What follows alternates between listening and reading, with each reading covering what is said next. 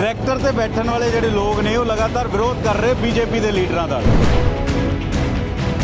ਇਹ ਜਿਹੜਾ ਨਾ ਕਿਸਾਨ ਯੂਨੀਅਨਾਂ ਕਰ ਰਹੀਆਂ ਏ ਕਿਸਾਨ ਨਹੀਂ ਕਰ ਰਿਹਾ। ਆ ਟਰੈਕਟਰ ਤੇ ਬੈਠੇ ਆ ਜੇ ਮਸਲੇ ਹੱਲ ਨਹੀਂ ਹੋਣਗੇ ਤਾਂ ਫਿਰ ਅਸੀਂ ਇਸੇ ਤਰੀਕੇ ਨਾਲ ਜਿਵੇਂ ਕਿਸਾਨ ਬੈਠੇ ਆ ਉਵੇਂ ਹੀ ਪ੍ਰਧਾਨ ਮੰਤਰੀ ਦੇ ਘਰ ਦੇ ਮੂਹਰੇ ਅਸੀਂ ਬੈਠਾਂਗੇ। ਤੁਸੀਂ ਕਿਹਾ ਸੀ ਕਿ ਇੱਕ ਨਾ ਇੱਕ ਦਿਨ ਬਿੱਟੂ ਸੀਐਮ ਜ਼ਰੂਰ ਬਣੇਗਾ। ਇਹੀ ਤਾਂ ਕਾਂਗਰਸ ਮਰੀ ਆ ਵੀ ਹਰ ਬੰਦਾ ਉੱਥੇ ਸੀਐਮ ਬਣਦਾ ਉਦੋਂ ਘੱਟ ਗੱਲ ਨਹੀਂ ਕਰਦਾ।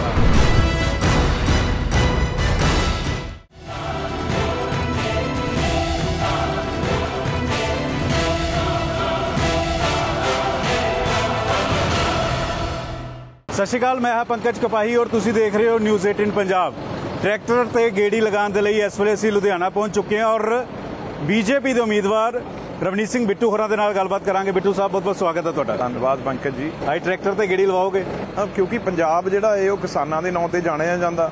ਤੇ ਕਿਸਾਨ ਅੱਜ ਕੱਲ ਤੁਹਾਨੂੰ ਪਤਾ ਸਾਰੇ ਟੀਵੀ ਸੁਰਖੀਆਂ 'ਚ ਕਿਸਾਨ ਹੀ ਕਿਸਾਨ ਆ। ਇਸ ਕਰਕੇ ਤੁਸੀਂ ਵੀ ਜਿਹੜਾ ਟਰੈਕਟਰ ਲੈ ਕੇ ਆਏ ਹੋ। ਤੇ ਚਲਾ ਲੈਂਦੇ ਟਰੈਕਟਰ? ਪੁੱਤਾਂ ਤੇ ਕਿਸਾਨ ਅਸੀਂ ਤਾਂ ਖੇਤੀ ਆਪ ਦੀ ਕਰਦੇ ਆ ਕੋਟਲੀ ਪਿੰਡ ਆਪ ਆਓ ਬੈਠੋ ਦਿਖਾਉਂਦੇ ਆ ਤੁਹਾਨੂੰ ਲਾਸਟ ਟਾਈਮ ਕਦੋਂ ਟਰੈਕਟਰ ਚਲਾਇਆ ਸੀ? ਮੈਂ ਹੁਣ ਹੋ ਗਿਆ ਜਿਹੜਾ ਇਸ ਵਾਰ ਤੋਂ ਪਿਛਲਾ ਸੀਜ਼ਨ ਸੀ। ਉਹ ਗਿਆ ਸੀ ਇਸ ਵਾਰ ਤਾਂ ਕਿਉਂਕਿ ਕਣਕ ਦੇ ਸੀਜ਼ਨ ਜਾ ਨਹੀਂ ਸਕੇ ਇਲੈਕਸ਼ਨਾਂ ਦਾ ਕੰਮ ਆ ਜਿਹੜਾ ਉਹ ਚੱਲ ਰਿਹਾ। ਜ਼ਮੀਨ ਹੈ ਤੁਹਾਡੀ? ਕੋਟਲੀ ਪਿੰਡ ਆਪਦੀ ਖੇਤੀ ਆਪ ਕਰੀਦੀ ਆ ਬਹੁਤ ਵੱਡੇ ਜੱਟ ਨਹੀਂ ਗਏ ਅਸੀਂ। ਕਿੰਨੀ ਕੁ ਜ਼ਮੀਨ ਹੈ ਤੁਹਾਡੇ ਕੋਲ? ਸਾਡੇ ਕੋਲ ਮੇਰੇ ਕੋਲ ਜੇ ਮੈਂ ਆਪਣੀ ਨਿੱਜੀ ਗੱਲ ਕਰਾਂ 19 ਕੁ ਕਿੱਲੇ ਆ ਜਿਹੜੀ 19 ਸਾਡੀ ਸਾਰੀ। ਸਰਦਾਰ ਬੇਅੰਤ ਸਿੰਘ ਜੀ ਅੱਗੇ ਪੋਤਿਆਂ ਦੇ ਕੋਲ ਜਿਹੜੀ ਆਉਂਦੀ ਆ ਉਹ 19 19 ਕਿੱਲੇ ਆਉਂਦੀ 19 19 ਕਿੱਲੇ ਆਂਦੇ ਆਰਗੈਨਿਕ ਖੇਤੀ ਕਰਦੇ ਹੋ ਜਾਂ ਫਿਰ ਹਾਂ। ਆਰਗੈਨਿਕ ਨਹੀਂ ਕਣਕ ਤੇ ਝੋਨਾ ਹੀ ਆ। ਲੇਕਿਨ ਝੋਨੇ ਕਣਕ ਤੋਂ ਤੁਸੀਂ ਆਪ ਬਾਹਰ ਨਹੀਂ ਆਏ। ਤੁਹਾਨੂੰ ਲੱਗਦਾ ਨਹੀਂ ਕਿ ਤੁਹਾਨੂੰ ਆਪ ਅੱਗੇ ਵੱਧ ਕੇ ਝੋਨੇ ਕਣਕ। ਗੱਲਬਾਤ ਜਿਹੜੀ ਉਹ ਕਰਦੇ ਆ ਤੁਹਾਡੇ ਨਾਲ। ਔਰ ਗੱਲਬਾਤ ਜਿਹੜੀ ਹੈ ਉਹ ਜਾਰੀ ਰੱਖਾਂਗੇ ਰਵਨੀਤ ਸਿੰਘ ਬਿੱਟੂ ਹੋਰਾਂ ਦੇ ਨਾਲ। ਗੇੜੀ ਮਾਰਾਂਗੇ ਟਰੈਕਟਰ ਦੇ ਉੱਤੇ।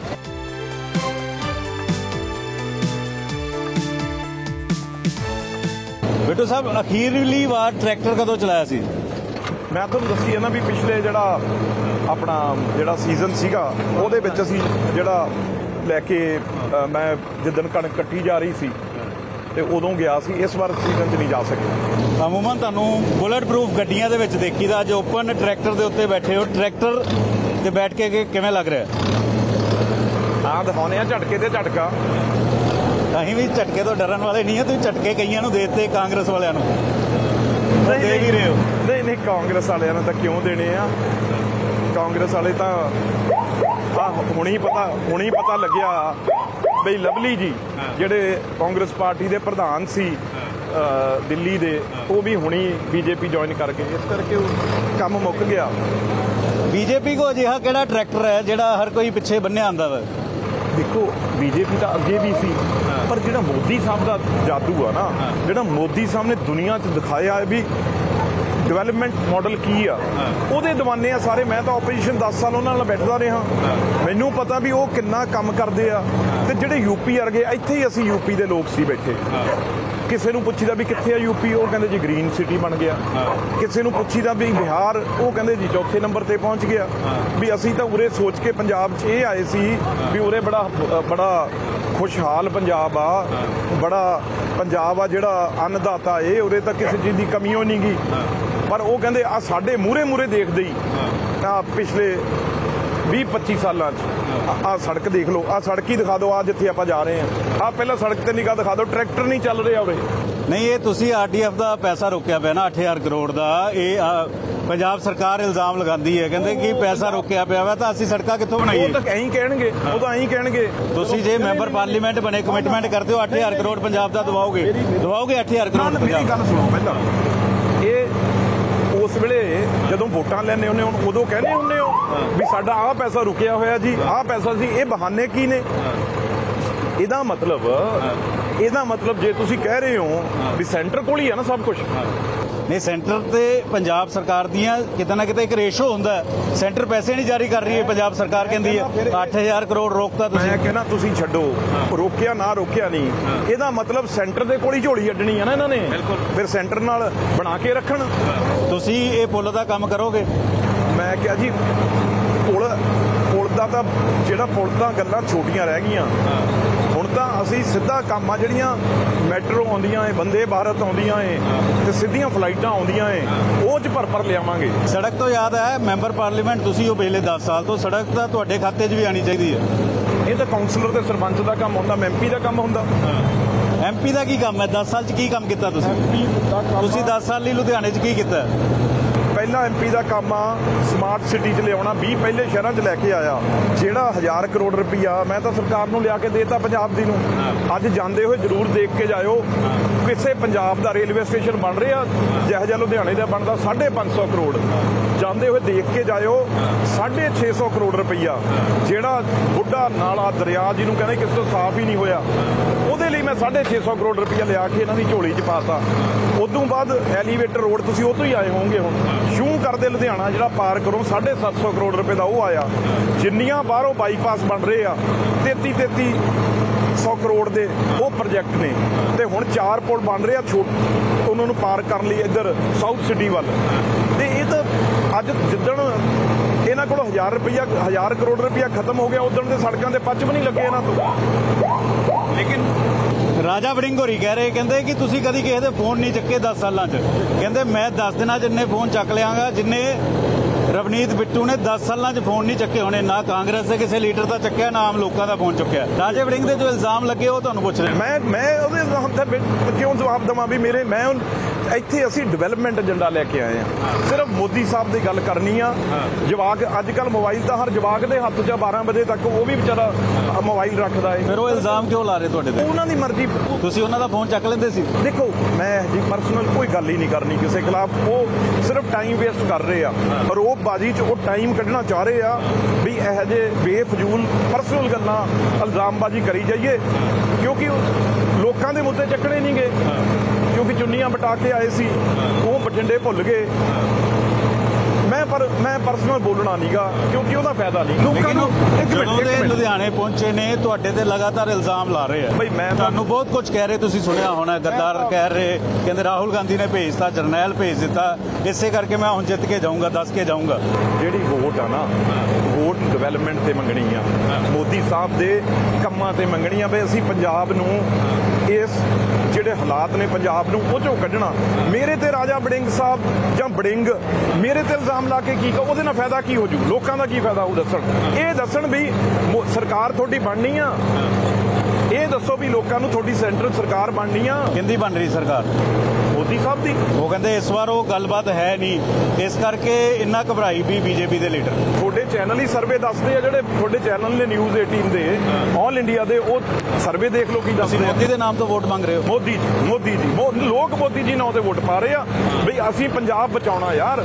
ਇੱਧਰ ਬਾਰਡਰ ਆ। ਉਹਨੂੰ ਕੱਲ ਦੋ ਦਿਨ ਇੰਟਰਵਿਊ ਤੋਂ ਪਹਿਲਾਂ ਹੀ ਕਿਹਾ ਵੀ ਇੱਧਰ ਬਾਰਡਰ ਆ। ਇੱਧਰ ਅਸੀਂ ਕੰਧਾਂ ਖੜੀਆਂ ਕਰੀ ਜਾਂਦੇ ਆ। ਲੜਾਈ ਕਰਕੇ ਉਹਨਾਂ ਨਾਲ। ਅਸੀਂ ਪੰਜਾਬ ਬਚਾਉਣਾ ਕਿ ਨਹੀਂ ਬਚਾਉਣਾ? ਇਹ ਬਿੱਟੂ ਦੀ ਲੜਾਈ ਚੋਂ ਜਾਂ ਬੜਿੰਗ ਦੀ ਲੜਾਈ ਚੋਂ ਕੁਝ ਨਹੀਂ ਨਿਕਲਣਾ। ਇੱਥੇ ਲੜਾ ਨਿਕਲਣਾ ਏ ਮੋਦੀ ਸਾਹਿਬ ਨੂੰ ਬਣਾ ਕੇ ਪੰਜਾਬ ਦਾ ਨਿਕਲਣਾ। ਇਹ ਜਿੰਨਾ ਇਲਜ਼ਾਮਬਾਜ਼ੀ ਕਰਨਗੇ ਲੋਕ ਸਮਝਦੇ ਅੱਜ ਕੱਲ ਯਾਰ। ਇਹ ਗੱਲਾਂ ਦਾ ਕੀ ਮਤਲਬ ਆ? ਖੇਤਾਂ ਦੇ ਰਾਜੇ ਦੇ ਉੱਤੇ ਤੁਸੀਂ ਬੈਠੇ ਹੋ ਟਰੈਕਟਰ ਦੇ ਉੱਤੇ। ਟਰੈਕਟਰ ਤੇ ਬੈਠਣ ਵਾਲੇ ਜਿਹੜੇ ਲੋਕ ਨੇ ਉਹ ਲਗਾਤਾਰ ਵਿਰੋਧ ਕਰ ਰਹੇ ਬੀਜੇਪੀ ਦੇ ਲੀਡਰਾਂ ਦਾ। ਇੱਕ ਕਿਸਾਨ ਦੀ ਮੌਤ ਵੀ ਇਸੇ ਚੱਕਰ ਦੇ ਵਿੱਚ ਹੋ ਗਈ ਜਦੋਂ ਪਰਨੀਤ ਕੌਰ ਦਾ ਵਿਰੋਧ ਹੋ ਰਿਹਾ ਸੀ। ਦੇਖੋ ਇਹ ਜਿਹੜਾ ਨਾ ਕਿਸਾਨ ਯੂਨੀਅਨਾਂ ਕਰ ਰਹੀਆਂ ਏ ਕਿਸਾਨ ਨਹੀਂ ਕਰ ਰਿਹਾ। ਕਿਸਾਨ ਨੂੰ ਤਾਂ ਅਸੀਂ ਹਰ ਚੀਜ਼ ਜਿਹੜੀ ਆ ਉਹ ਮੁਹੱਈਆ ਕਰਾਉਣੀ ਆ। ਜੇ ਇਹ ਬੀਜੇਪੀ ਦੀ ਸਰਕਾਰ ਆ ਇਹ ਜਿਹੜੇ ਇਹ ਇਹ ਇਹ- ਇਹਨਾਂ ਦਾ ਵਿਰੋਧ ਕਿਉਂ ਨਹੀਂ ਹੋ ਰਿਹਾ ਬਈ? ਹਾਂ ਇਹਨਾਂ ਦਾ। ਜਿਹੜੀਆਂ ਦੂਜੀਆਂ ਪਾਰਟੀਆਂ ਏ ਕਿਉਂ ਨਹੀਂ ਵਿਰੋਧ ਹੋ ਰਿਹਾ? ਮੈਂ ਤੁਹਾਨੂੰ ਦੱਸਾਂ ਜਿਹੜੀ ਉਰੇ ਦੀ ਸਰਕਾਰ ਆ ਆਮ ਆਦਮੀ ਦੀ ਪੁਲਿਸ ਨੂੰ ਪੁਲਿਸ ਮਦਦ ਕਰਦੀ ਆ ਸਾਡੇ ਰੂਟ ਦੱਸਦੀ ਆ ਉਹਨਾਂ ਨੂੰ ਤਿਆਰ ਕਰਕੇ ਲਿਆਉਂਦੀ ਆ ਤੇ ਵੋਟਾਂ ਮੁੱਖ ਮੰਤਰੀ ਨੂੰ ਖੁਸ਼ ਕਰਨ ਲਈ ਇਹ ਸਾਰਾ ਤਿਆਰ ਕਰਕੇ ਜੇ ਅਸੀਂ ਉਹ ਪਿੰਡਾਂ 'ਚ ਜਾਂਦੇ ਆ ਬਗੈਰ ਦੱਸੇ ਤੇ ਪੁਲਿਸ। ਉੱਥੇ ਵਧੀਆ ਪ੍ਰੋਗਰਾਮ ਆ ਮੈਂ ਪਿੰਡ 'ਚ ਹੀ ਫਿਰ ਰਿਹਾ। ਕਿਹੜਾ ਵਿਰੋਧ ਹੈ ਇੱਥੇ? ਜਦੋਂ ਇਹਨਾਂ ਦੀ ਸਰਕਾਰੀ ਪੁਲਿਸ ਨੂੰ ਦੱਸ ਦੋ ਆਮ ਆਦਮੀ ਦੀ ਇਹ ਤਿਆਰ ਕਰਾ ਕੇ ਲਿਆਉਂਦੇ ਆ। ਤੁਸੀਂ ਕਹਿ ਰਹੇ ਹੋ ਕਿਸਾਨ ਯੂਨੀਅਨ ਪਿੱਛੇ ਪੰਜਾਬ ਸਰਕਾਰ ਦਾ ਹੱਥ ਹੈ। ਕਿਉਂ ਨਹੀਂ ਕਿਉਂ ਨਹੀਂ ਪ੍ਰਧਾਨ ਮੰਤਰੀ ਦੀ ਜਿਹੜੀ ਤਪਦੀ ਸੜਕ ਆ, ਉਹ ਤੇ ਕਿਸਾਨਾਂ ਲਈ ਹੱਕ ਦਵਾ ਕੇ ਲਿਆਓ ਕਿਸਾਨਾਂ ਨੂੰ। ਤੇ ਤੁਸੀਂ ਇਲੈਕਸ਼ਨ ਤੋਂ ਪਹਿਲਾਂ ਆਪ ਚਲਾਕੀ ਨਾਲ ਨਿਕਲ ਗਏ ਵਿੱਚੋਂ ਤੇ ਮੌਜ ਨਾਲ ਤੁਸੀਂ ਜਿਹੜੇ ਸਾਡੇ ਜੱਟ ਨੇ ਜਾਂ ਸਾਡੇ ਕਿਸਾਨ ਨੇ, ਉਹਨਾਂ ਨੂੰ ਤੁਸੀਂ ਸੜਕਾਂ ਤੇ ਬਿਠਾ ਕੇ ਛੱਡਤਾ ਤਪਦਿਆਂ ਨੂੰ। ਜੇ ਸਰਕਾਰ ਕਾਹਦੇ ਲਈ ਹੁੰਦੀ ਆ? ਮੇਰੇ ਨਾਲ ਗੱਲ ਕਰੋ। ਮੇਰੇ ਨਾਲ ਕੋਈ ਕਿਸਾਨ ਲੀਡਰ ਗੱਲ ਕਰੇ। ਸਵਾ ਸਾਲ ਬੈਠਾ ਮੈਂ ਸਵਾ ਸਾਲ। ਇਹ ਕਿਸਾਨਾਂ ਦੇ ਮੰਤਰ। ਜੰਤਰ ਮੰਨਦਾ ਤੁਸੀਂ ਉਹ ਚੈਨਲਾਂ 'ਤੇ ਦਿਖਾਉਂਦੇ ਸੀ। ਇੱਕ ਦਿਨ ਵੀ ਜੇ ਮੈਂ ਹੁੱਲਿਆ ਹੋਵਾਂ। ਇਹ ਲੜਾਈਆਂ ਅਸੀਂ ਲੜੀਆਂ ਸਾਨੂੰ ਹਾਂ ਮੈਂ ਨਹੀਂ ਕਹਿੰਦਾ ਜਿਹਨੇ ਨਹੀਂ ਲੜੀ ਚਾਹੇ ਉਹ ਕਿਸੇ ਪਾਰਟੀ ਦਾ ਏ ਚਾਹੇ ਉਹ ਬੀਜੇਪੀ ਦਾ ਏ ਚਾਹੇ ਉਹ ਅਕਾਲੀ ਦਲ ਦਾ ਚਾਹੇ ਉਹ ਕਾਂਗਰਸ ਦਾ ਉਹਦਾ ਡਟ ਕੇ ਵਿਰੋਧ ਕਰੋ। ਜਿਹੜਾ ਬੰਦਾ ਕਿਸੇ ਪਾਰਟੀ ਦਾ ਪ੍ਰਧਾਨ ਇੱਕ ਦਿਨ ਕਿਸਾਨਾਂ ਲਈ ਨਹੀਂ ਕੋਈ ਆਇਆ। ਕਿਉਂ ਨਹੀਂ ਆ ਕੇ ਬੈਠੇ ਇਹ? ਚਾਹੇ ਕਿਸਾਨਾਂ ਨੇ ਕਿਹਾ ਸੀ ਸਾਡੇ 'ਚ ਨਾ ਆਓ, ਪਰ ਕਿਸੇ ਪਾਰਟੀ ਨੂੰ ਰੋਕਿਆ ਸੀ? ਕਿਸੇ ਪਾਰਟੀ ਨੂੰ ਰੋਕਿਆ ਸੀ? ਉਹਨਾਂ ਨੇ ਕਿਹਾ, ਚੌਥੀ ਸੜਕ ਤੇ ਬਹਿ ਜਾਓ ਤੁਸੀਂ, ਅਸੀਂ ਤਿੰਨ ਤੇ ਬੈਠੇ ਆ। ਇਹ ਗੱਲਾਂ ਮਾਰਦੇ ਆ। ਕਾਂਗਰਸ ਪਾਰਟੀ ਨੇ ਕਿਉਂ ਧਰਨਾ ਨਹੀਂ ਲਾਇਆ ਉਦੋਂ ਜੀ? ਅਸੀਂ ਬਲਾਬਲਾ ਥੱਕ ਗਏ ਦੋਨੋਂ ਮੈਂ ਤੇ ਔਜਲਾ ਸਾਹਿਬ ਵੀ ਆ ਕੇ ਬੈਠੋ। ਕਿ ਕਾਂਗਰਸ 'ਚ ਸੀਗੇ ਤੁਹਾਡੇ ਵੱਲੋਂ ਤੇ ਧਰਨਾ ਸੀ। ਤੁਸੀਂ ਤੁਸੀਂ ਮੈਂਬਰ ਪਾਰਲੀਮੈਂਟ ਕਾਂਗਰਸ ਦੇ ਬੈਠੇ ਦੇ ਹੋਏ ਸੀ। ਅਸੀਂ ਉਹ ਪ੍ਰਿੰਕਾ ਗਾਂਧੀ ਵੀ ਆਏ ਸੀਗੇ। ਅਸੀਂ ਉਹ ਬੈਠੇ ਪੰਜਾਬ ਦਾ ਕਿਹੜਾ ਆਇਆ? ਕੌਣ ਆਇਆ ਪੰਜਾਬ ਤੁਸੀਂ ਕਿਹਾ ਨਹੀਂ ਰਾਜਾ ਵੜਿੰਗ ਨੂੰ ਉਸ ਵੇਲੇ ਕੈਪਟਨ ਅਮਰਿੰਦਰ ਸਿੰਘ ਨੂੰ ਤੁਸੀਂ ਕਿਹਾ ਨਹੀਂ ਤੁਸੀਂ ਕਿਹਾ ਨਹੀਂ ਬਾਕੀ ਲੀਡਰਾਂ ਨੂੰ। ਅਸੀਂ ਕਿਉਂ ਕਹੀਏ? ਉਹਨਾਂ ਨੂੰ ਕਿਸਾਨਾਂ ਦਾ ਫਿਕਰ ਨਹੀਂ ਸੀ। ਅਸੀਂ ਕੋਈ ਵਿਆਹ ਰੱਖਿਆ ਸੀ ਵੀ ਸੱਦਾ ਦਈਏ? ਲੇਕਿਨ ਮੇਰੇ ਕੋਲ ਜਾਣਕਾਰੀ ਹੈ ਉਸ ਵੇਲੇ ਤੁਸੀਂ ਪ੍ਰਧਾਨ ਨੂੰ ਕਿਹਾ ਸੀ ਉਸ ਵੇਲੇ ਸੁਨੀਲ ਜਾਖੜ ਸ਼ਾਇਦ ਪ੍ਰਧਾਨ ਸੀ ਤੁਸੀਂ ਕਹਿੰਦੇ ਜ਼ਿੰਮੇਵਾਰੀ ਲਗਾਓ ਕਿ ਇੱਥੇ। ਐਮਐਲਏ ਆਣ ਦੋ ਦੋ ਚਾਰ ਚਾਰ ਐਮਐਲਏ ਆਣ ਕੁਲਬੀਰ ਜੀਰਾ ਉਸ ਵੇਲੇ ਸ਼ਾਇਦ ਆਏ ਸੀ। ਬਈ ਆਪਣਾ ਇਹ ਕਿਸਾਨਾਂ ਦਾ ਸਭ ਦਾ ਹੀ ਕੰਮ ਸੀ। ਪ੍ਰਧਾਨ ਜੀ ਦਾ ਕੰਮ ਸੀ ਇਹ ਕਹਿਣਾ। ਸਾਰੇ ਐਮਐਲਏਆਂ ਦਾ ਕੰਮ ਸੀ ਸਾਰੇ ਹੁਣ ਐਮਪੀ ਕਿਸਾਨਾਂ ਦਾ ਮਸਲਾ ਹੱਲ ਕਿਵੇਂ ਹੋਏਗਾ ਕਿਵੇਂ ਨਿਪਟਾਰਾ ਹੋਏਗਾ? ਨਹੀਂ ਮੈਂ ਪਹਿਲਾਂ ਇੰਟਰਵਿਊ 'ਚ ਕਹਿਤਾ ਆਹ ਟਰੈਕਟਰ ਤੇ ਬੈਠੇ ਆ ਜੇ ਮਸਲੇ ਹੱਲ ਨਹੀਂ ਹੋਣਗੇ ਤਾਂ ਫਿਰ ਅਸੀਂ ਇਸੇ ਤਰੀਕੇ ਨਾਲ ਜਿਵੇਂ ਕਿਸਾਨ ਬੈਠੇ ਆ ਉਵੇਂ ਹੀ ਪ੍ਰਧਾਨ ਮੰਤਰੀ ਦੇ ਘਰ ਦੇ ਮੂਹਰੇ ਅਸੀਂ ਬੈਠਾਂਗੇ। ਇਹਨਾਂ ਨੂੰ ਨਹੀਂ ਲੋੜ। ਜੇ ਕਹਿ ਰਹੇ ਜੇ ਤੁਸੀਂ ਮੈਂਬਰ ਪਾਰਲੀਮੈਂਟ ਬਣੇ ਜੇ ਪਹਿਲੀ ਗੱਲ ਪ੍ਰਧਾਨ ਮੰਤਰੀ ਸਾਹਮਣੇ ਮਸਲੇ ਹੱਲ ਕਰਨ ਦੀ ਕਰੋਗੇ ਔਰ ਨਹੀਂ ਹੱਲ ਹੋਏ ਤਾਂ ਫਿਰ ਤੁਸੀਂ ਪੀਐਮ ਦੇ ਘਰ ਦੇ ਬਾਹਰ ਧਰਨਾ ਲਾਓ। ਮੈਂ ਤਾਂ ਪਹਿਲਾਂ ਵੀ ਸਵਾ ਸਾਲ ਬੈਠਾ ਰਿਹਾ। ਹੁਣ ਤੁਸੀਂ ਹੁਣ- ਬੀਜੇਪੀ ਜਾ ਗਏ ਨਾ ਤੁਸੀਂ ਕਹਿੰਦੇ ਬੀਜੇਪੀ ਜਾ ਹੋ ਹੁਣ ਤਾਂ ਸਰਕਾਰ ਬਣਨੀ ਆ। ਤੇ ਇੱਕ ਇੱਕ ਮਸਲੇ ਹੱਲ ਕਰਾ ਕੇ ਪ੍ਰਧਾਨ ਮੰਤਰੀ ਜੀ ਤਾਂ। ਪਹਿਲਾਂ ਕਹਿਣਾ ਵੀ ਉਹਨਾਂ ਨੇ ਕਿਸਾਨਾਂ ਵਾਅਦੇ ਕੀਤੇ ਹੋਏ ਆ ਹੱਲ ਕਰਾਉਣ ਦੇ, ਉਹ ਤਾਂ ਫਿਰੋਜ਼ਪੁਰ ਆ ਰਹੇ ਸੀ। ਫਿਰੋਜ਼ਪੁਰ ਆ ਕੇ ਕਿਸਾਨਾਂ ਦੇ ਲਈ ਉਹ ਸਭ ਕੁਝ ਕਰਨ ਆ ਰਹੇ ਸੀ। ਕਰਜ਼ਾ ਮਾਫ, ਪੈਨਸ਼ਨ, ਅਗਲੀਆਂ ਹੋਰ ਸਕੀਮਾਂ, ਉਹ ਸਭ ਕੁਝ ਕਰਨ ਆ ਰਹੇ ਸੀ। ਤੇ ਚੰਨੀ ਨੇ ਚਾਰ ਆਪਣੇ ਪ੍ਰਾਈਵੇਟ ਕੋਈ ਬੰਦੇ ਲਾ ਕੇ ਭੇਜ ਕੇ ਚੰਨੀ ਪੁਲਿਸ ਦੇ ਸੀ, ਪੰਜਾਬ ਪੁਲਿਸ ਦੇ ਜਿਹੜੇ ਕਾਰਵਾਈ ਹੋ ਰਹੀ ਆ, ਉਹਨਾਂ ਨੂੰ ਬਿਠਾ ਕੇ ਪ੍ਰਾਈਮ ਮਿਨਿਸਟਰ ਨੂੰ ਜਿਹੜਾ ਹੈ ਉਹਨਾਂ ਨੂੰ ਲੇਕਿਨ ਤੁਸੀਂ ਅੱਜ ਵੱਡਾ ਬਿਆਨ ਦੇ ਰਹੇ ਹੋ ਕਿ ਸਰਕਾਰ ਬਣਨ ਤੋਂ ਬਾਅਦ ਤੁਸੀਂ ਪ੍ਰਧਾਨ ਮੰਤਰੀ ਕੋਲ ਜਾਓਗੇ, ਹੱਲ ਕਰੋ। ਜੇ ਹੱਲ ਨਹੀਂ ਹੋਇਆ ਤਾਂ ਫਿਰ ਪ੍ਰਧਾਨ ਮੰਤਰੀ ਦੇ ਘਰ ਦੇ ਬਾਹਰ ਬੈਠੋ। ਅਸੀਂ ਆਈ ਬੀਜੇਪੀ ਚ ਇਸ ਕਰਕੇ ਆ ਵੀ ਕੋਈ ਜਿਹੜੇ ਚੰਗੇ ਚਿਹਰੇ ਨੇ ਜਿਹੜੇ ਕਿਸਾਨਾਂ ਦੀ ਗੱਲ ਜਾਣਦੇ ਆਪ ਕਿਸਾਨ ਆ ਚਾਹੇ ਉਹ ਮਹਾਰਾਣੀ ਜੀ ਆ ਚਾਹੇ ਅੰਮ੍ਰਿਤਸਰ ਤੋਂ ਸਾਡੇ ਲੜ ਰਹੇ ਆ ਚਾਹੇ ਮੈਂ ਆ ਅਸੀਂ ਤਾਂ ਆਪ ਧਰਨੇ 'ਚ ਬੈਠੇ ਆ। ਜਿੱਦਣ ਜੇ ਹੱਲ ਇਹ ਨਾ ਹੋਇਆ ਮੈਂ ਤੁਹਾਨੂੰ ਗਰੰਟੀ ਦਿੰਨਾ। ਫਿਰ ਅਸੀਂ ਕੀ ਲੈਣਾ? ਅਸੀਂ ਤਾਂ ਪੰਜਾਬ ਦੇ ਕਰਕੇ ਆਏ ਆ। ਬੀਜੇਪੀ ਛੱਡ ਦੋਗੇ ਫਿਰ? ਤੇ ਬੀਜੇਪੀ ਨਾ ਨਾ ਨਾ ਨਾ ਛੱਡਣਾ ਛੱਡਣਾ ਤਾਂ ਭੱਜਣਾ ਏ। ਮਸਲੇ ਹੱਲ ਕਰਾਵਾਂਗੇ ਵਿੱਚ ਬਹਿ ਕੇ ਪ੍ਰਧਾਨ ਮੰਤਰੀ ਤੇ ਅਮਿਤ ਸ਼ਾਹ ਜੀ ਨੱਡਾ ਜੀ ਨੇ ਵਾਅਦੇ ਕੀਤੇ ਆ ਸਾਡੇ ਨਾਲ। ਤੁਹਾਡੀ ਪ੍ਰਧਾਨ ਮੰਤਰੀ ਨਾਲ ਗੱਲਬਾਤ ਹੋਈ ਹੋਣੀ ਹੋਈ ਹੋਮ। ਮਿਨਿਸਟਰ ਨਾਲ ਹੋਈ ਹੋਣੀ। ਕੀ ਤੁਸੀਂ ਗੱਲ ਰੱਖੀ ਕਿਸਾਨਾਂ ਦੀ ਉਹਨਾਂ ਦਾ ਕੀ ਕਹਿਣਾ ਸੀ? ਉਹਨਾਂ ਨੇ ਇਹ ਗੱਲਾਂ ਹੁਣ ਕਰਨ ਵਾਲੀਆਂ ਨਹੀਂ ਗੇ ਜਿਹੜੀਆਂ ਨਿੰਗ ਗਈਆਂ ਉਹਨਾਂ ਨੇ ਕਿਹਾ ਅਸੀਂ ਹਰ ਗੱਲ ਕਰਨ ਨੂੰ ਜਿਹੜੀ ਉਹ ਤਿਆਰ ਆ ਤੇ ਹਰ ਗੱਲ ਜਿਹੜੀ ਹੋਏਗੀ। ਤੇ ਹਰ ਗੱਲ ਜਿਹੜੀ ਕਿਸਾਨਾਂ ਦੀ ਹੋਏਗੀ ਇਹ ਜ਼ਿੰਮੇਵਾਰੀ ਨਾਲ ਮੈਂ ਸਰਦਾਰ ਬੇਅੰਤ ਸਿੰਘ ਦਾ ਪੋਤਾ ਏ ਜਿਨ੍ਹਾਂ ਨੇ ਜੇ ਕਿਹਾ ਅੱਤਵਾਦ ਖਤਮ ਕਰਾਂਗੇ, ਚਾਹੇ ਬੰਬ ਨਾ ਉੜ ਗਏ, ਖਤਮ ਕੀਤਾ। ਤੇ ਜੇ ਮੈਂ ਕਹਿ ਰਿਹਾ ਕਿਸਾਨਾਂ ਦੇ ਮਸਲੇ ਹੱਲ ਹੋਣਗੇ, ਮਜ਼ਦੂਰਾਂ ਦੇ ਮਸਲੇ ਹੱਲ ਹੋਣਗੇ ਤਾਂ ਚਾਹੇ ਉਹਦੇ ਲਈ ਕੁਝ ਕੁਰਬਾਨੀ ਦੇਣੀ ਪਵੇ ਇਹ ਮਸਲੇ ਹੱਲ ਕਰਾਵਾਂਗੇ। ਇੱਕ ਚਰਚਾ ਇਹ ਵੀ ਚੱਲਦੀ ਹੈ ਕਿ ਜੇਕਰ ਪਾਕਿਸਤਾਨ ਵਾਲਾ ਅਟਾਰੀ ਵਾਲਾ ਬਾਰਡਰ ਖੁੱਲ ਜਾਂਦਾ ਉਹ ਵੀ ਖੁੱਲੂ ਉਹ ਵੀ ਖੁੱਲੂ। ਖੁਲਵਾਓਗੇ ਤੁਸੀਂ? ਮੈਂ ਕਿਹਾ ਜੀ ਸਾਰੀਆਂ ਸੜਕਾਂ ਬਣ ਕੇ ਤਿਆਰ ਨੇ ਗਟਕਰੀ ਸਾਹਿਬ ਨੇ ਸਭ ਤਿਆਰੀ ਕੀਤੀ ਹੋਈ ਆ। ਤੁਸੀਂ ਕਹਿ ਰਹੇ ਹੋ ਬਾਰਡਰ ਖੁਲਵਾਓਗੇ ਬਾਰਡਰ ਖੁਲਵਾ ਕੇ ਵਪਾਰ ਕਿਉਂਕਿ ਕਹਿੰਦੇ ਲਾਹੌਰ ਨੇੜੇ ਪੈਂਦਾ ਦਿੱਲੀ ਦੂਰ ਪੈਂਦਾ ਦੇਖੋ ਜਦੋਂ ਕਰਤਾਰਪੁਰ ਸਾਹਿਬ ਲਾਂਘੇ ਲਈ ਪਾਕਿਸਤਾਨ ਹੀ ਜਾਂਦੇ ਆ ਨਾ ਤੇ ਇਹ ਕਿਉਂ ਨਹੀਂ ਖੁੱਲੂਗਾ? ਵਪਾਰ ਲਈ ਕਿਉਂ ਨਹੀਂ ਖੁੱਲੂਗਾ? ਇਹ ਵੀ ਇੱਕ ਸਾਲ ਕਰੋਗੇ। ਇਹ ਵੀ ਇੱਕ ਸਾਲ ਦੇ ਅੰਦਰ ਖੁੱਲੂ। ਪਹਿਲਾਂ ਹੀ ਉਹਨਾਂ ਨੇ ਫੈਸਲਾ ਕੀਤਾ ਹੋਇਆ। ਪਹਿਲਾ ਫੈਸਲਾ ਕੀਤਾ ਹੈ ਕਿ ਬਾਰਡਰ ਖੋਲਾਂਗੇ ਅਗਲੀ ਸਭ ਕੁਝ ਤਿਆਰੀ ਆ। ਪਾਸੇ ਕਾਂਗਰਸ ਆ ਜਿਹੜੀ ਉਹਦਾ ਤੁਹਾਨੂੰ ਇਤਿਹਾਸ ਪਤਾ ਹੀ ਆ ਮੈਂ ਹੁਣ ਮੈਂ ਦਰਾਉਣਾ ਨਹੀਂ ਚਾਹੁੰਦਾ ਉਹ। ਦੁਸ਼ਮਣ ਪੰਜਾਬ ਦੀ ਉਹ ਆ ਜਾਂ ਬੀਜੇਪੀ ਆ? ਲੇਕਿਨ ਦੁਸ਼ਮਣ ਪੰਜਾਬ ਦੀ ਤੁਸੀਂ ਕਾਂਗਰਸ ਕਹਿ ਰਹੇ ਹੋ ਕਾਂਗਰਸ ਨੂੰ ਜਿਤਾਇਆ ਉਸ ਤੋਂ ਬਾਅਦ 84 ਤੋਂ ਬਾਅਦ ਵੀ ਕਈ ਵਾਰ ਜਿਤਾਇਆ। ਹਾਂ ਉਹ ਕੋਈ ਗੱਲ ਨਹੀਂ ਉਹ ਤਾਂ ਨਹੀਂ ਮੈਂ ਕਹਿੰਦਾ ਨਹੀਂ ਜਿਤਾਇਆ। ਹਾਂ। ਦੂਸਰਾ ਇਹ ਵੀ ਹੈ ਕਿ ਲੁਧਿਆਣੇ ਦੇ ਵਿੱਚ ਕਿਉਂਕਿ ਪ੍ਰਵਾਸੀ ਵੋਟ ਬਹੁਤ ਹੈ ਰਾਮ ਮੰਦਿਰ ਕਿੰਨਾ ਕੁ ਵੱਡਾ ਇੰਪੈਕਟ ਪਾਏਗਾ? ਰਾਮ ਮੰਦਿਰ ਦੇ ਨਾਮ ਤੇ ਵੋਟਾਂ ਤੁਹਾਡੇ ਵੱਲੋਂ ਮੰਗੀਆਂ ਜਾ ਰਹੀਆਂ? ਦੇਖੋ ਦੋ ਗੱਲਾਂ ਨੇ। ਸਭ ਤੋਂ ਵੱਡਾ 550 ਸਾਲ ਦਾ ਬਨਵਾਸ ਜੇ ਜੇ ਰਾਮ ਜੀ ਨੇ ਮੋਦੀ ਜੀ ਤੇ ਕਿਰਪਾ ਕੀਤੀ। ਕਿਸੇ ਪ੍ਰਧਾਨ ਮੰਤਰੀ ਨੇ ਕਿਉਂ ਨਹੀਂ ਕੀਤੀ? 550 ਸਾਲ ਬਾਅਦ ਜਿਹੜਾ ਹੈ, ਉਹ ਸਾਡਾ ਅੱਜ ਰਾਮ ਮੰਦਰ, ਲੋਕ ਦਰਸ਼ਨ ਕਰਨ ਜਾਂਦੇ ਆ ਰਾਮ ਜੀ ਦੇ। ਅੱਜ ਉਹ ਲੋਕ ਲੋਕ ਤਾਂ ਇਹ ਮੌਕਾ ਅਗਲਾ ਕਹਿੰਦਾ, ਯਾਰ, ਜਿਹਨੇ, ਰਾਮ ਜੀ ਨੇ ਵੀ ਦੇਖਣਾ ਉਦੋਂ ਮੋਦੀ ਜੀ ਤਾਂ ਨਹੀਂ ਦੇਖਣਗੇ। ਤਾਂ ਨਹੀਂ ਦੇਖਣਗੇ ਵੋਟ ਪਾਉਂਦੇ। ਪਰ ਰਾਮ ਜੀ ਉੱਤੋਂ ਜ਼ਰੂਰ ਦੇਖਣਗੇ ਵੀ ਮੇਰੇ ਭਗਤ ਜੀ ਨੇ ਮੇਰਾ ਬਨਵਾਸ ਜਿੱਤੋਂ ਮੈਂ ਵਨ ਆਪਣਾ ਬਨਵਾਸ ਜਿਨ੍ਹਾਂ ਤੋਂ ਖਤਮ ਕਰਵਾਇਆ ਆਸ਼ੀਰਵਾਦ ਦੇ ਕੇ। ਲੋਕ ਫੁੱਲ ਤੇ ਮੋਹਰ ਲਾ ਰਹੇ ਜਾਂ ਨਹੀਂ? ਰਾਮ ਮੰਦਿਰ ਤੇ ਕਿੰਨਾ ਕੁ ਅਸਰ ਜਿਹੜਾ ਤੁਹਾਨੂੰ ਪੰਜਾਬ 'ਚ ਨਜ਼ਰ ਆਉਂਦਾ ਲੁਧਿਆਣੇ 'ਚ ਨਜ਼ਰ ਆਉਂਦਾ? ਰਾਮਮਈ ਜੀ ਰਾਮਮਈ। ਅੱਜ ਅੱਜ ਦੇਖ ਲਿਓ ਕਨਈਆ ਜੀ ਆ ਰਹੇ ਨੇ। ਅੱਜ ਲੁਧਿਆਣੇ ਕਨਈਆ ਜੀ ਆ ਰਿਹਾ ਅਸਰ ਦੇਖ ਲਿਓ ਵੀ ਕਿੰਨਾ ਹੈ। ਦੂਜਾ ਇਹ ਵੀ ਹੈ ਕਿ ਯੋਗੀ ਵੀ ਆਣਗੇ। ਪੀਐਮ ਵੀ ਆਣਗੇ ਅਮਿਤ ਸ਼ਾਹ ਵੀ ਆਣਗੇ ਜਾਣਕਾਰੀ ਮਿਲ ਰਹੀ ਤੁਹਾਡੇ ਬੜੀ ਬੜੀ ਲੀਡਰਸ਼ਿਪ ਜਿਹੜੀ ਆ ਜਿਵੇਂ ਜਿਵੇਂ ਇੰਤਜ਼ਾਮ ਕਰ ਸਕਾਂਗੇ ਜਿਵੇਂ ਜਿਵੇਂ ਪਾਰਟੀ ਜਿਹਨੂੰ ਜਿਨ੍ਹਾਂ ਨੂੰ ਬੇਨਤੀ ਕਰੇਗੀ ਉਹ ਸਭ ਪਹੁੰਚਣਗੇ। ਜਾਣਕਾਰੀ ਇਹ ਵੀ ਮਿਲੀ ਹੈ ਕਿ ਅਗਲੀ ਸਰਕਾਰ ਜੇਕਰ ਐਨਡੀਏ ਦੀ ਬੰਦੀ ਬੀਜੇਪੀ ਦੀ ਬੰਦੀ ਹੈ ਤਾਂ ਅਮਿਤ ਸ਼ਾਹ ਤੁਹਾਨੂੰ ਜਿਹੜਾ ਵਾ ਸੈਂਟਰ 'ਚ ਵਜ਼ੀਰ ਬਣਾਉਣਾ ਚਾਹੁੰਦੇ ਨੇ। ਇਸ ਤਰੀਕੇ ਦੀ ਵੀ ਕੋਈ ਗੱਲਬਾਤ ਹੋਈ ਸੀਗੀ ਔਰ ਪੰਜਾਬ ਤੋਂ ਤੁਸੀਂ ਹੁਣ ਸੈਂਟਰ ਦੇ ਮੰਤਰੀ ਜਿਹੜੇ ਉਹ ਬਣ ਸਕਦੇ ਹੋ? ਮੇਰੀ ਇੱਕ ਬੇਨਤੀ ਹੁਣ ਇਹ ਰੋਡ ਮੈਪ ਆ ਨਾ ਜਿਹੜਾ ਇਹ 27 ਦਾ ਬਣ ਕੇ ਆਇਆ। ਜਿਹੜੇ ਕਾਂਗਰਸ ਵਾਲੇ ਉੱਥੇ ਤੜਫਦੇ ਸੀ ਨਾ ਵੀ ਇਹ ਕਿਤੇ ਇਹਨੂੰ ਕਿਵੇਂ ਰੋਕ ਕੇ ਰੱਖਣਾ ਕਿਵੇਂ ਰੋਕਣਾ ਹੈ ਹੁਣ ਮੋਦੀ ਜੀ ਅਮਿਤ ਸ਼ਾਹ ਨੱਡਾ ਜੀ ਤੇ ਸਾਡੇ ਵਰਗੇ ਸਿਪਾਹੀ ਉਹਨਾਂ ਦੇ। ਕੱਲੀ ਸੈਂਟਰ ਦੀ ਸਰਕਾਰ ਨਹੀਂ ਮੰਤਰੀ ਨਹੀਂ। ਇੱਥੇ ਸਾਰੇ ਮੇਅਰ ਇੱਥੇ ਸਰਕਾਰ ਜਿਹੜੀ ਸਤਾਈ ਦੀ ਸਾ ਕਿਸਾਨਾਂ ਨੂੰ ਖੁਸ਼ ਕਰਕੇ ਮਜ਼ਦੂਰਾਂ ਨੂੰ ਟਰੇਡਰ ਨੂੰ ਦੁਕਾਨਦਾਰਾਂ ਨੂੰ ਮੁਲਾਜ਼ਮਾਂ ਨੂੰ ਸਭ ਨੂੰ ਖੁਸ਼ ਕਰਕੇ ਜਿਹੜੀ ਸਰਕਾਰ ਸਤਾਈ ਦੀ ਉਹ ਬੀਜੇਪੀ ਦੀ ਬਣਾਊ ਸਾਡੀ ਤਾਂ ਅੱਖ ਉੱਥੇ ਆ। ਮਿਨਿਸਟਰੀ ਮਿਨਿਸਟਰੀ ਤਾਂ ਬਹੁਤ ਛੋਟੀਆਂ ਗੱਲਾਂ ਏ ਉਰੇ ਸਰਕਾਰ ਬਣਾਉਣੀ ਆ ਉਰੇ ਚੀਫ ਮਿਨਿਸਟਰ ਬਣਾਉਣਾ ਪੰਜਾਬ ਕੌਣ ਹੋਏਗਾ ਚੀਫ ਮਿਨਿਸਟਰ? ਬੀਜੇਪੀ ਦੀ ਤਾਂ- ਸਰਕਾਰ ਬੰਦੀ ਇਹ ਤਾਂ ਇਹ ਤਾਂ ਉਹ ਰੱਬ ਜਾਣਦਾ ਜਾਂ ਬੀਜੇਪੀ ਦੇ ਹਾਈ ਕਮਾਂਡ ਜਾਣਦੀ। ਰਾਜਾ ਵੜਿੰਗ ਦਾ ਮੈਂ ਪਿਛਲੇ ਹਫ਼ਤੇ ਇੰਟਰਵਿਊ ਕੀਤਾ ਸੀ ਸੁਖਨਾ ਲੇਕ ਦੇ ਉੱਤੇ। ਕਹਿੰਦੇ ਮੇਰੇ ਹੱਥ ਦੀ ਲਕੀਰ ਦੱਸ ਰਹੀ ਹੈ ਕਿ ਮੈਂ ਇੱਕ ਦਿਨ ਸੀਐਮ ਜ਼ਰੂਰ ਬਣਾਗਾ। ਤੁਹਾਡੇ ਹੱਥਾਂ ਦੀਆਂ ਲਕੀਰਾਂ ਕੀ ਕਹਿੰਦੀਆਂ? ਆ ਦਿਖਾਓਗੇ ਥੋੜੀ ਹੱਥ ਦੀ ਲਕੀਰ ਵੀ ਦਿਖਾ ਦਿਓ। ਮੈਂ ਕਿਸੇ ਦੇ ਬਾਰੇ ਨਹੀਂ ਕੁਝ ਕਹਿੰਦਾ। ਚੀਫ ਮਿਨਿਸਟਰ ਕਿੰਨੇ ਆਏ, ਕਿੰਨੇ ਚਲੇ ਗਏ।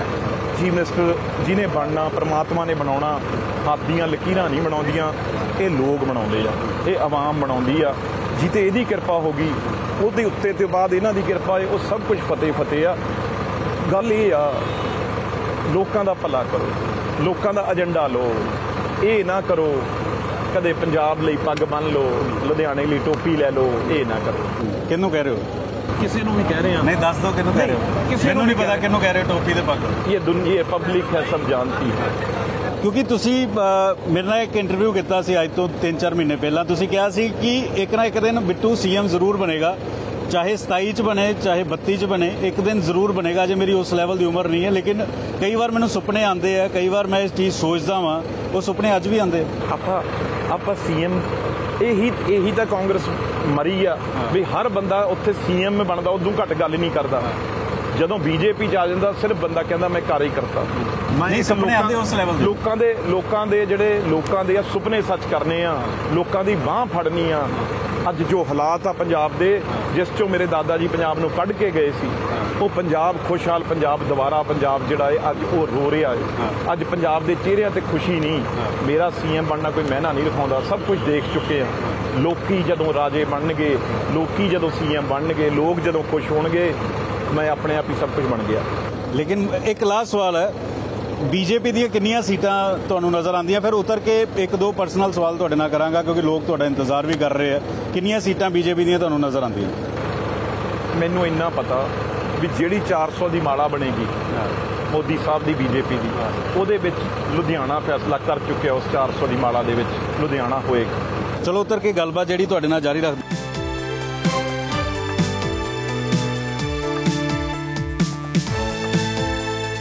ਸਿਆਸੀ ਲੀਡਰਾਂ ਕੋ ਪਰਿਵਾਰ ਦੇ ਲਈ ਸਮਾਂ ਨਹੀਂ ਹੁੰਦਾ ਫਿਲਮਾਂ ਵੇਖਣ ਦਾ ਸਮਾਂ ਨਹੀਂ ਹੁੰਦਾ ਲੇਕਿਨ ਅੱਜ ਕੱਲ ਬਹੁਤ ਸਾਰੇ ਫਿਲਮੀ ਸਿਤਾਰੇ ਜਿਹੜੇ ਨੇ ਉਹ ਸਿਆਸਤ 'ਚ ਆ ਗਏ ਨੇ।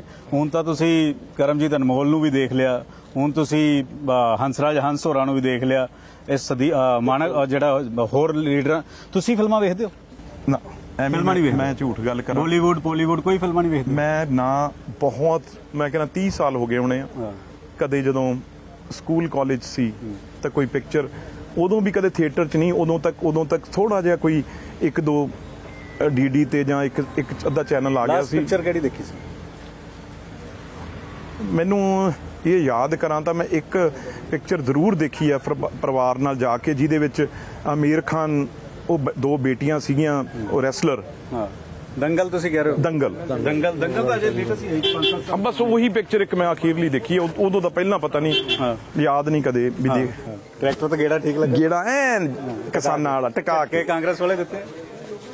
ਦੇਖੋ ਸੋਨਾਲੀਕਾ ਸੀ ਬੜਾ ਇਹ ਟਰੈਕਟਰ ਤਾਂ ਜਿਹੜਾ ਬਹੁਤ ਕਾਰਾਂ ਕਾਰਾਂ ਨਾਲੋਂ ਵੀ ਵਧੀਆ ਟਰੈਕਟਰ ਸੀ ਸ਼ੌਕਰ ਇੰਨਾ ਸਾਰਾ ਕੁਝ ਜੇ ਕੋਈ ਦੇਸੀ ਟਰੈਕਟਰ ਹੁੰਦਾ ਨਾ ਪਹਿਲਾਂ ਸਾਡੇ ਕੋਲ ਫੋਰਡ ਜਾਂ ਹੋਰ ਜਿਹੜੇ ਪੁਰਾਣੇ ਹੁੰਦੇ ਸੀ ਉਸ ਕਰਕੇ ਇਹ ਤਾਂ ਹੁਣ ਸੋਨਾਲੀਕਾ ਬਹੁਤ ਸੋਹਣਾ ਵਧੀਆ ਟਰੈਕਟਰ ਬਣੇ ਆ ਤੇ ਕੋਈ ਝਟਕੇ ਨਹੀਂ ਲੱਗੇ ਇਹ ਤਾਂ ਤੁਹਾਨੂੰ ਜਾਣ ਕੇ ਥੋੜੇ ਝਟਕੇ ਮਾਜ ਵੀ ਖੇਤਾਂ 'ਚ ਕਿਵੇਂ ਲੱਗਦੇ ਆ। ਚਲੋ 4 ਤਰੀਕ ਤੋਂ ਬਾਅਦ ਫਿਰ ਤੁਹਾਡੇ ਨਾਲ ਬੈਠਾਂਗੇ ਟਰੈਕਟਰ ਤੇ ਗੇੜੇ ਤੇ। ਆਪਣੇ ਸਹਿਯੋਗੀ ਅਜੇ ਦੇ ਨਾਲ ਪੰਕਜ ਭਾਈ ਨਿਊਜ਼ 18 ਲੁਧਿਆਣਾ।